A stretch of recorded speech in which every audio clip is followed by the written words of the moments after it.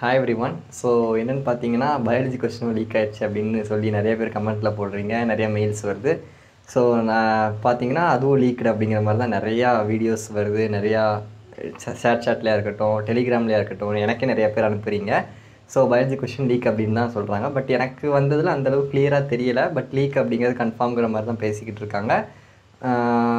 But அதில் பார்த்தீங்க அப்படின்னா அந்த கொஷின்ஸ்லாம் பார்த்தீங்கன்னா ஒரு சிலர் தெரியறது வந்து நம்ம சொன்னோமா அந்த கொஷின்ஸ் தான் இருக்குது பயாலஜியில் இந்த அளவுக்கு ஈஸியாலாம் கொஷின்ஸ் வர வ- வர வாய்ப்பே இல்லை. அந்தளவுக்கு ஈஸியாக தெரிஞ்ச கொஷினாக தான் கேட்டிருக்காங்க. ஸோ அந்த கொஷின் வருதா என்ன இல்லையா அப்படிங்கிறது தெரியாது. பட் நீங்கள் நான் கொடுத்துருக்க கொஷின்ஸ் எல்லாமே என்ன செய்யுங்க அப்படின்னா பாருங்கள் முடிஞ்ச அளவுக்கு.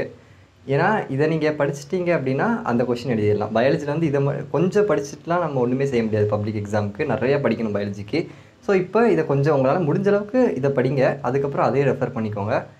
ஸோ முடிஞ்ச அளவுக்கு படிங்க அவ்வளோதான் சொல்ல முடியும். பட் கொஷின் லீக் ஆகிட்டு இருக்கு என்ன பண்ண போகிறாங்க அப்படிங்கிறது நமக்கு தெரியாது. பார்க்கலாம்.